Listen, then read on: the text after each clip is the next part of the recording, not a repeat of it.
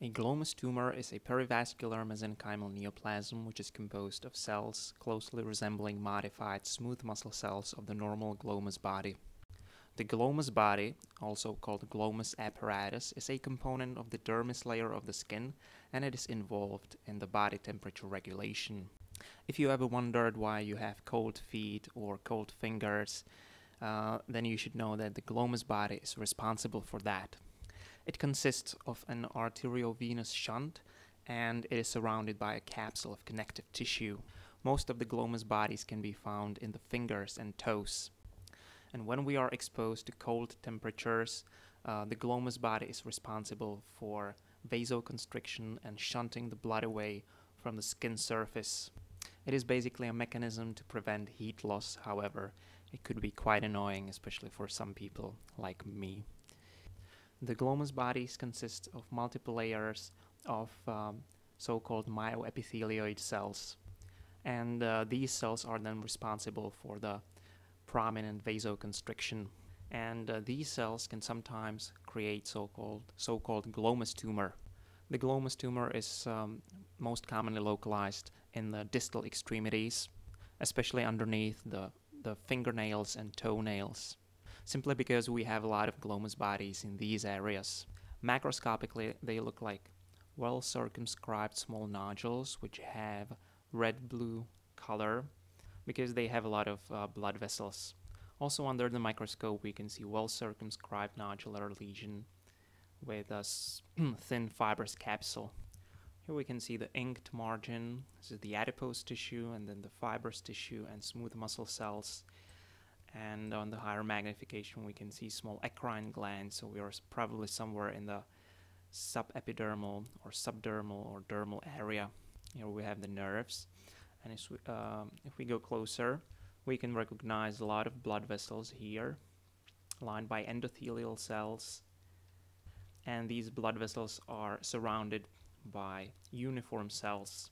These cells have round oval shaped nuclei which are very uniform and bland.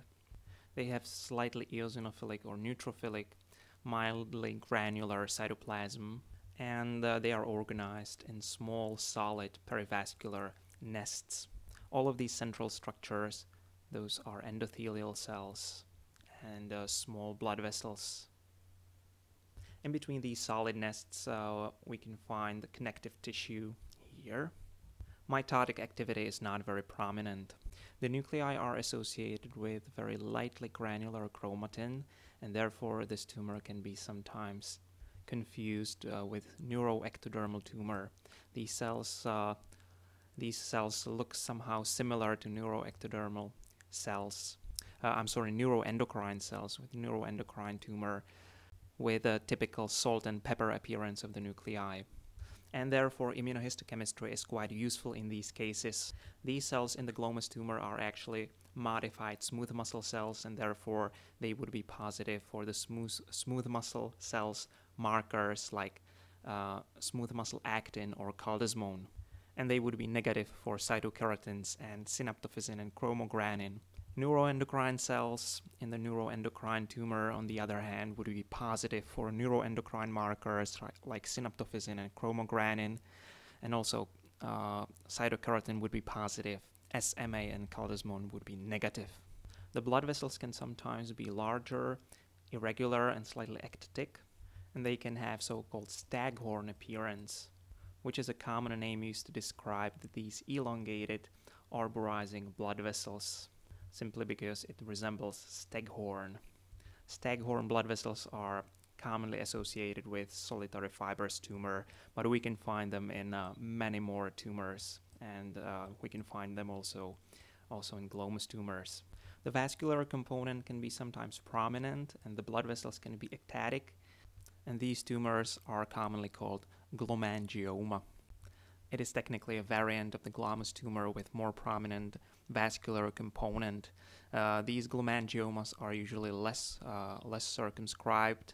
They sometimes resemble cavernous hemangiomas and uh, they can be associated with secondary thrombosis in, in these ectatic blood vessels. Glomus tumor is usually solitary, it is a benign tumor, and is usually less, uh, It usually measures less than uh, 1 centimeter in diameter. It has excellent prognosis, however, a small percentage of the cases can recur locally. Malignant glomus tumors exist, however, uh, they have different morphology. They have marked nuclear atypia, um, more prominent mitotic activity. We can find atypical mitotic figures. The cells are usually spindled and uh, atypical. Thanks for watching.